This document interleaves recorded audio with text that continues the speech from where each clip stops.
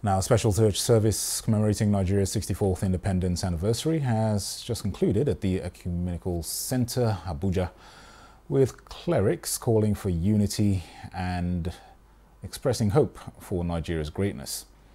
Most Reverend Michael Akinwale, in his sermon centered on Martin Luther King Jr.'s I Have a Dream message, urging Nigerians to be nationalistic in their outlook so that they the country will leave a legacy of excellence for generations to come and make a lasting impact on other nations.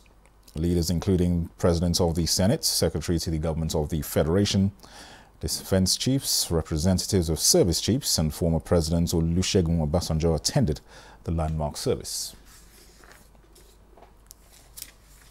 Money from the special fund established to ensure that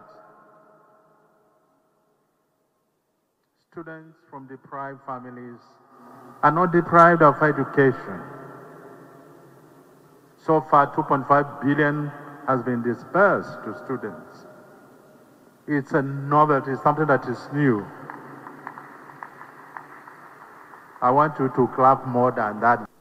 Special remittances to state governments to promote what? Food security, Nigeria gained independence from British colonial rule on October 1st, 1960, adopting a federal system with an elected prime minister and ceremonial head of state. This anniversary serves as a reflection on the country's journey and its diversity, with a federal structure comprising three regions Eastern, Northern, and Western. In related news, Secretary to the Government of the Federation, George Akume, announced that Nigeria's 64th independence anniversary celebration would be low key. Past independence celebrations have featured interdenominational church services, such as this one held at the National Christian Center. The service concluded with the national anthem and symbolic cutting of the national cake.